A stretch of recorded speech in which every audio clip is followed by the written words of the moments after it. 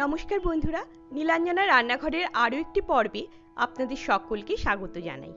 আজ চলে এসেছি একটি সাবেকি বাঙালি রান্নার রেসিপি নিয়ে, সেটা হলো গোবিন্দভোগ চাল দিয়ে মোচার ঘন্ট। এই রান্নাটা আমি আমার মায়ের কাছ থেকে শিখেছি। যারা এভাবে চাল দিয়ে কখনো মোচা রান্না করে খাননি, তারা অন্তত একবার হলেও এই রেসিপিটা ট্রাই করে দেখবেন। আশা করছি খুব ভালো লাগবে। মোচা ছাড়ানোর একটা প্রসেস আছে। আমি এই ভিডিওতে কি করে মোচা ছাড়াতে হয় সেটাও আপনাদের সাথে শেয়ার করব। মোচার ফুলগুলো আমি ছাড়িয়ে নিয়েছি। এবার দেখুন, প্রত্যেকটা ফুলের মধ্যে একটা করে এরকম ট্রান্সপারেন্ট খোসার মতো অংশ থাকে। এই খোসার মতো অংশটা এবং আরেকটা কাঠির মতো অংশ থাকে যার মাথাটা একটু গোল। এই কাঠির মতো অংশটা এই দুটোকে কিন্তু আমাদের ছাড়িয়ে বাদ দিয়ে ফেলে দিতে হবে। এভাবে আমাদের প্রত্যেকটা ফুল থেকে এই দুটো অংশকে ছাড়িয়ে বাদ দিয়ে ফেলে দিতে হবে। এই অংশগুলো যদি থেকে যায়, তাহলে এগুলো কিন্তু সেদ্ধ হয় না এবং যখন মোচার ঘন্টটা রান্না করার পর খাওয়া হয়, তখন এগুলো কিন্তু গলায় কাঠির মতো বিঁধে যেতে পারে। সেই জন্য প্রত্যেকটা ফুল থেকে এই অংশগুলোকে বাদ দিয়ে দেওয়া অত্যন্ত জরুরি। এইভাবে সমস্ত ফুলগুলো থেকে এই দুটো অংশকে আমার ছাড়িয়ে নেওয়া হয়ে গেছে। তারপরে আমি মোচাটাকে দেখুন এরকম ঝিরিঝিরি করে কেটে নিয়েছি। মোচাটা খুব ভালো করে ঝিরিঝিরি করে কেটে নিতে হবে, তাহলে ঘন্টটা খেতেও খুব ভালো লাগবে। এবার এটাকে আমি দশ মিনিটের জন্য জলে ডুবিয়ে রেখেছিলাম, তারপর খুব ভালো করে ধুয়ে নিয়েছি। এবার একটা প্রেশার কুকারের মধ্যে আমি এই মোচাগুলোকে দিয়ে দেব। মোচাগুলোকে দেওয়ার সময় এক্সট্রা জলটা ঝরিয়ে নেব। সমস্ত মোচাটা আমার প্রেশার কুকারের মধ্যে দেওয়া হয়ে গেছে। এবার এর মধ্যে খুব সামান্য আমি জল দেব হাফ কাপ মতো জল দিচ্ছি। এবার দিয়ে দিচ্ছি এক চামচ হলুদের গুঁড়ো আর দিয়ে দিচ্ছি এক চামচ নুন। একটা হাতা দিয়ে নুন আর হলুদটাকে ভালো করে মিশিয়ে দিচ্ছি। এখানে আর একটু জলের আমার প্রয়োজন মনে হচ্ছে, তাই আমি আর হাফ কাপ মতো জল দিয়ে দিলাম। এবার নুন আর হলুদটাকে ভালো করে মিশিয়ে নিচ্ছি। এবার প্রেশার কুকারের ঢাকাটা বন্ধ করে আমি একটা সিটি দিয়ে নেব। আপনারা আপনাদের প্রেশার কুকার অনুযায়ী মোচাটা সেদ্ধ হতে যে কটা সিটির প্রয়োজন সেই কটা সিটি দিয়ে নেবেন। একটা বাটিতে আমি নিয়ে নিয়েছি চার টেবিল চামচ গোবিন্দভোগ চাল। চালটাকে আমি খুব ভালো করে ধুয়ে জল ঝরিয়ে রেখেছি। চালটা কিন্তু ভিজিয়ে রাখার কোনো প্রয়োজন নেই। একটা কড়াই গরম করে তাতে দু টেবিল চামচ মতো সর্ষের তেল গরম করে নিয়েছি। এবার তাতে দিয়ে দিচ্ছি এক চামচ গোটা জিরে ও একটা শুকনো লঙ্কা। দশ পনেরো সেকেন্ড নাড়াচাড়া করে দিয়ে দিচ্ছি চারটে ফাটিয়ে নেওয়া ছোট এলাচ ও দু টুকরো দারচিনি। ফোড়নটা থেকে একটা সুন্দর গন্ধ বেরোতে শুরু করলে এর মধ্যে দিয়ে দিচ্ছি ডুমো করে কেটে রাখা একটা মাঝারি সাইজের আলু। হাফ চামচ হলুদের গুঁড়ো ও হাফ চামচ নুন দিয়ে আলুটাকে বেশ লাল করে ভেজে নিতে হবে। আলুটা বেশ লাল করে ভাজা হয়ে গেছে। এবার এর মধ্যে দিয়ে দিচ্ছি আগে থেকে ধুয়ে জল ঝরিয়ে রাখা গোবিন্দভোগ চালটা।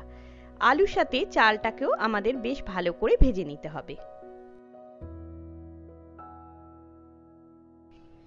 এদিকে একটা বাটিতে নিয়ে নিচ্ছি এক চামচ জিরের গুঁড়ো ওয়ান ফোর চামচ হলুদের গুঁড়ো ওয়ান ফোর চামচ লাল লঙ্কার গুঁড়ো।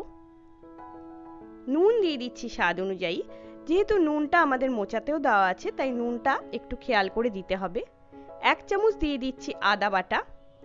এবার সামান্য জল দিয়ে এই সব মশলাকে গুলে একটা মশলার পেস্ট আমি তৈরি করে নেব। আমি সব সময়ই যখন রান্নায় গুঁড়ো মশলা ব্যবহার করি, তখন এইভাবে জলে গুলে মশলাটা ব্যবহার করি। এর ফলে মশলাটা পুড়ে যাওয়ার চান্স খুব কম থাকে। চাল ও আলুটা আমার বেশ ভালো করে ভাজা হয়ে গেছে। এবার এর মধ্যে তৈরি করে রাখা মশলার পেস্টটা আমি দিয়ে দিলাম। চাল এবং আলুর সাথে মশলাটা খুব ভালো করে নেড়েচেড়ে মিশিয়ে কষে নিতে হবে। মশলার বাটিটা ধুয়ে সামান্য জলের মধ্যে দিয়ে দিয়েছি। এবার গ্যাসের ফ্লেমটা মিডিয়ামে রেখে আরও পাঁচ থেকে সাত মিনিট মশলাটাকে খুব ভালো করে কষে নিতে হবে। দুটো চেরা কাঁচা লঙ্কা দিয়ে দিয়েছি, তবে মোচার ঘন্ট কিন্তু খুব বেশি ঝাল হলে খেতে ভালো লাগে না, তাই ঝালটা আপনারা আপনাদের স্বাদ অনুযায়ী দিয়ে নেবেন।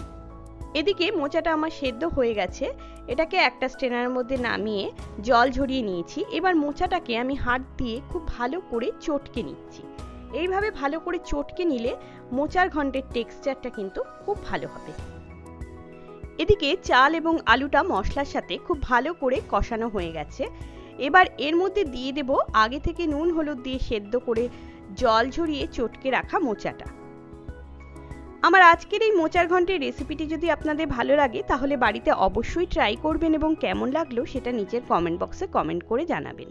রেসিপিটি ভালো লাগলে বন্ধু, আত্মীয় সকলের সাথে শেয়ার করবেন। চাল, আলু এবং মশলার সাথে মোচাটাকে খুব ভালো করে নাড়াচাড়া করে কষিয়ে নেওয়া হয়ে গেছে। এবার এর মধ্যে দিয়ে দিচ্ছি এক বাটি গরম জল। যে কোনো রান্নায় জল ব্যবহার করতে হলে আমি সবসময় গরম জলই ব্যবহার করি। এতে রান্নার কালার এবং স্বাদটা কিন্তু খুব ভালো হয়। এবার গ্যাসটাকে মিডিয়ামে রেখে একটা ঢাকা দিয়ে সাত থেকে আট মিনিট সব কিছুকে সেদ্ধ করে নেব। আট মিনিট পর আমি ঢাকাটা খুলে একটু চেক করে নিচ্ছি। দেখুন, মোচার ঘন্টটা কি সুন্দর হয়েছে। চাল, আলু সব খুব ভালো মতো করে সেদ্ধ হয়ে গেছে। আমাদের মোচার ঘন্টও প্রায় রেডি হয়ে গেছে। এবার নামাবার আগে কয়েকটা জিনিস আমি এর মধ্যে দিয়ে দেব। এক চামচ চিনি দিয়ে দিলাম। এটা টোটালি অপশনাল যেহেতু নিরামিষ রান্না একটু মিষ্টি মিষ্টি হলে খেতে ভালো লাগে, সেই জন্য আমি দিলাম। তবে আপনাদের পছন্দ না হলে বা দিতে না চাইলে এটা স্কিপ করতে পারেন। এবার দিয়ে দিচ্ছি এক চামচ গরম মশলার গুঁড়ো। এই গরম মশলার গুঁড়োটা আমার বাড়িতে তৈরি করা। আর দিয়ে দিচ্ছি এক চামচ ঘি। মোচার ঘন্টে কিন্তু ঘি এবং গরম মশলার গুঁড়োটা অবশ্যই দিতে হবে। তা না হলে কিন্তু মোচার ঘন্টের সেই ফ্লেভারটা আসবে না। এবার সব কিছুকে খুব ভালো করে নাড়াচাড়া করে মিশিয়ে নিলেই তৈরি হয়ে গেল গোবিন্দভোগ চাল দিয়ে মোচার ঘন্ট। এটা আপনারা গরম ভাতের সাথে পরিবেশন করতে পারেন, খেতে কিন্তু ভীষণই ভালো লাগে। আমি এক মুঠো কিশমিশ ভালো করে ধুয়ে জলে ভিজিয়ে রেখেছিলাম, সেটা এর মধ্যে দিয়ে দিলাম। এটা কিন্তু টোটালি অপশনাল আসলে ওই কিশমিশটা মুখে পড়লে খেতে বেশ ভালো লাগে, সেই জন্যই আমি দিয়েছি। মোচার ঘন্ট আমাদের একদম রেডি হয়ে গেছে। এবার গ্যাসটা অফ করে আমি পাঁচ মিনিটের জন্য এটাকে ঢাকা দিয়ে রেখে দিলাম। এবার গরম গরম ভাতের সাথে সার্ভ করব মোচার ঘন্ট। আরও এ ধরনের নানান রেসিপি পেতে ইউটিউবে আমার চ্যানেল ও ফেসবুকে আমার পেজ নীলাঞ্জনার রান্নাঘরকে সাবস্ক্রাইব ও ফলো করবেন। সকলে ভালো থাকবেন, সুস্থ থাকবেন। দেখা হবে পরবর্তী পর্বে আরও নতুন কোনো একটা রেসিপির সাথে।